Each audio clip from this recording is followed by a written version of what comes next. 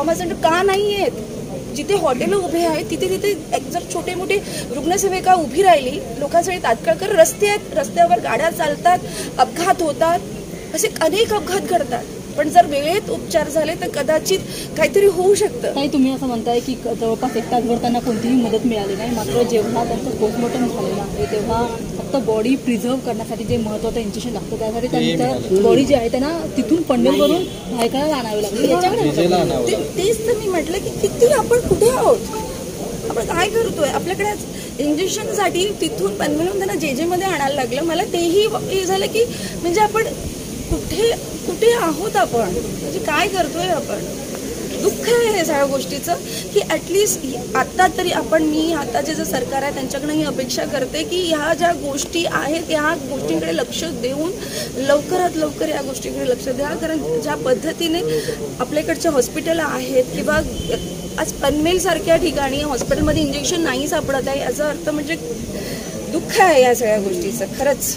या घटनेची चौकशी करण्यासाठी सरकारने एक पथकाची नेमणूक केलेली आहे आणि या संपूर्ण घटनेची त- तपासणी होणार आहे.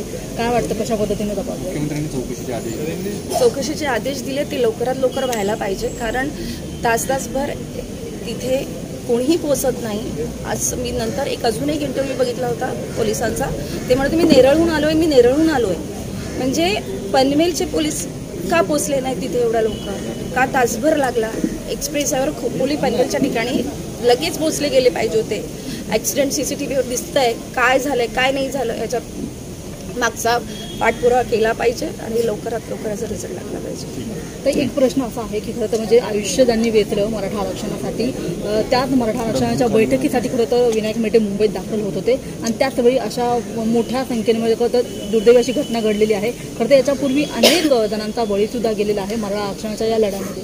गेलाच आहे. खूप खूप सगळ्यांची बळी दिलेली आहे त्याच्यामध्ये. आणि मला असं वाटतं की अचानक बोलवणं अचानक तुम्ही या ही जी ऑर्डर आपण देतो कोण कुठे आहे काय आहे कसं आहे प्रत्येकजण मला हे पण कल्पना होती की मिठे साहेब ह्यावेळी मंत्रिपदाचे दावेदार होते.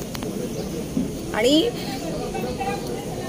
किती काही असलं तरी इतके वर्ष तुम्ही त्यांना दिलेले आहेत. तुम्ही एक पक्षासाठी काम केलेलं आहे मराठा आरक्षणासाठी त्यांनी काम केलेलं आहे. ते तिथून तुम्ही त्यांना ऑर्डर देता ते रात्रभर ट्रॅव्हल करून इथे येतात. कोण कुठे कसं असतं? म्हणजे तुम्ही प्रत्येकाला जे कर्मचारी आहेत त्यांना पण मी सगळ्यांना सांगेन की तुम्ही जे मोठी लोक आहेत त्यांनी जेव्हा तुम्ही देता की आता तुम्ही या ह्या वेळेत पोचा. तर ती लोक ती कुठे आहेत काय आहे काय नाही. सगळेजण आपलं सगळं काही सोडून पळतात की नाही बाबा?